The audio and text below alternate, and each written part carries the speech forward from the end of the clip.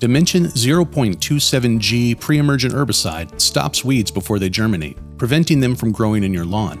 The active ingredient, dithiopyr, stops over 30 of the most common broadleaf and grassy weeds from growing without harming established lawns and landscape ornamentals.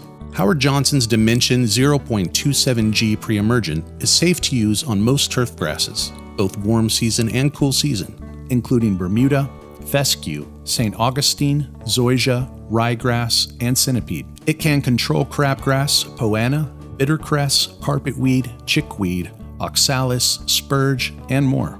While this weed preventer does not control established weeds, it does provide post-emergent control of crabgrass in the early stages of development if applications are made to crabgrass prior to the first tiller or three-leaf growth phase. Dimension 0.27G pre-emergent herbicide should be applied after the last frost of the spring, but before weeds begin to germinate.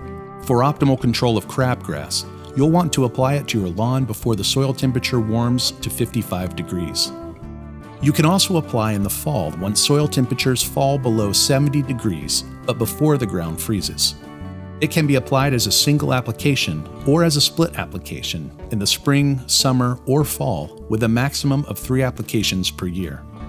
To apply Dimension 0.27G weed control, begin by calibrating your granular spreader. Refer to the product label or the manual of your spreader for your spreader's settings. Put on your personal protective equipment, including gloves, long sleeves, pants, and closed-toed shoes. Then, pour the herbicide granules into your spreader.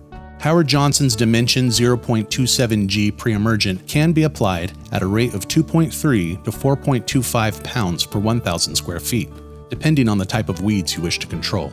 Walk back and forth across your lawn in even rows, spreading the granules uniformly as you walk. Be sure to use your spreader guard to prevent granules from being thrown onto sidewalks, driveways, and the street. Sweep any granules that land on pavement back into your lawn. Once you have covered your lawn in an even layer of granules, you will need to activate the product by watering the granules in. Use a sprinkler or hose to apply at least a half an inch of water to your lawn. If rain is predicted in the near future, you can allow nature to water in the granules for you. Granules must be watered in within 14 days of application and before weeds begin to germinate. This pre-emergent weed control should not be applied to newly seeded or sodded lawns.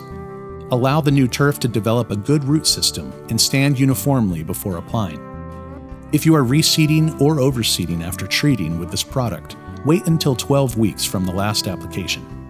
You can also apply the granules to established landscape and ornamental garden beds, as it's safe to use with many non-crop plants. Refer to the Dimension 0.27G pre-emergent herbicide product label for detailed application rates, the full list of tolerant ornamental plants, and usage instructions. And it's that easy with the expert help from DoMyOwn.com. Subscribe to our channel for more DIY and product videos.